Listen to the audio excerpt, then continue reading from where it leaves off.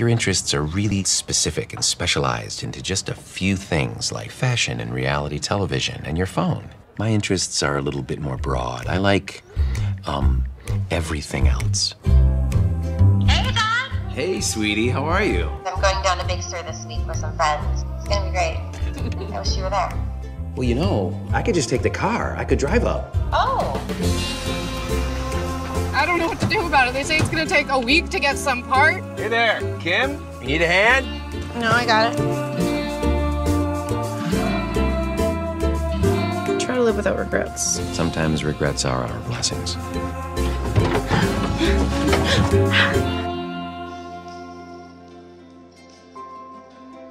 Hey, Dad. Hey, sweetie.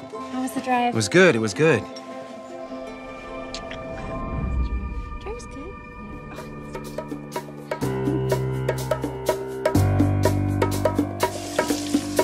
And I have been together for 18 months. I didn't really know how to tell you over the phone. I think it's great, you know, as long as you're happy. This is wonderful.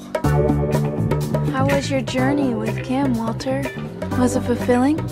You okay back there, Dad? Okay, Here, have some water. I'm actually gonna die. You had sex with your daughter's girlfriend? Yeah. And you're feeling guilty? It's actually a lot cooler having you here than I thought it would be. this was gonna go? You're gonna be one big happy family? You're gonna go to Hawaii and snorkel? Your daughter is the only good thing that I have going for me. If you had a secret and you knew that it would ruin somebody's life, would you keep it a secret or would you come clean? Why would you want to ruin someone's life? I gotta tell you something. It's about your dad. Whatever you do, take a lot of pictures.